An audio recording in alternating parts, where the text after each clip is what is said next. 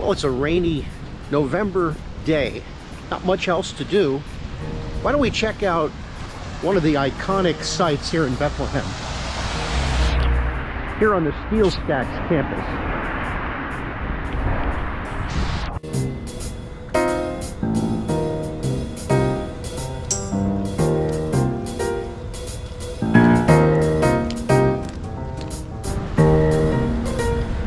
if you'd really like to get a close-up and personal view of the steel stacks, the blast furnaces, and the hot end of an integrated steel plant, your best bet is to visit the Hoover Mason Trestle here in Bethlehem.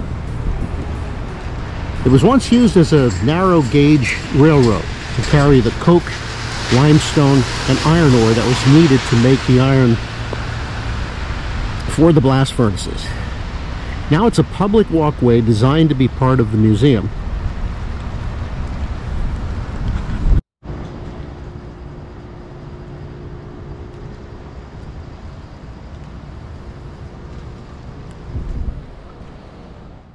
The construction of Lehigh Canal in the 1820s and the Lehigh Valley Railroad in the 1850s brought the Industrial Revolution to the Lehigh Valley.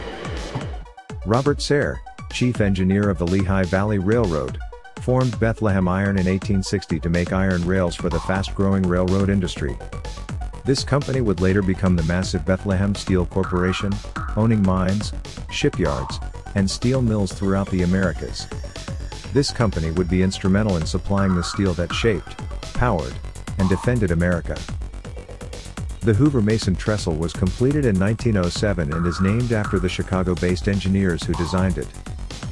For over 80 years, Cars delivered raw materials including limestone, iron ore, and coke to the blast furnaces. Men worked around the clock, in three shifts, emptying carloads of materials into storage bins below.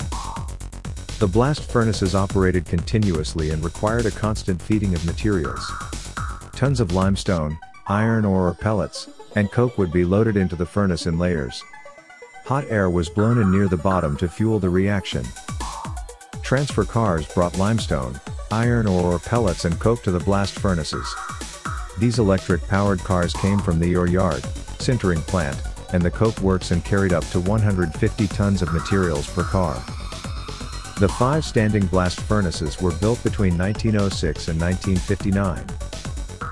Each furnace produced from 800 to 3,300 tons of iron per day, with up to three furnaces operating simultaneously. The blower house generated the wind for the blast furnaces.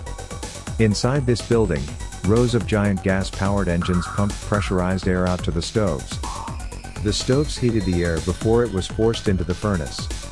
This hot pressurized air reacted with the coke, fuel, producing intense heat and carbon monoxide. The steel structural beams used in skyscrapers throughout the US were first rolled at this site in 1907. The wide flange beam, shaped from a single piece of steel, was lighter and stronger than previous beam designs. This meant skyscrapers could be built taller than ever before, and with less cost.